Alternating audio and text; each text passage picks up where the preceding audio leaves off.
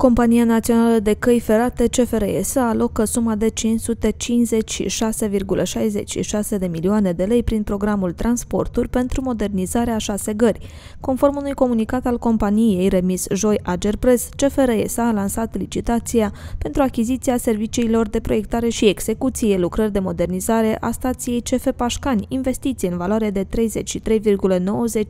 de milioane de lei, fără TVA, finanțată din fonduri nerambursabile prevăzute prevăzute în programul transporturi. Totodată, de la începutul anului și până în prezent, CFR a lansat șase licitații, în valoare totală de 556,66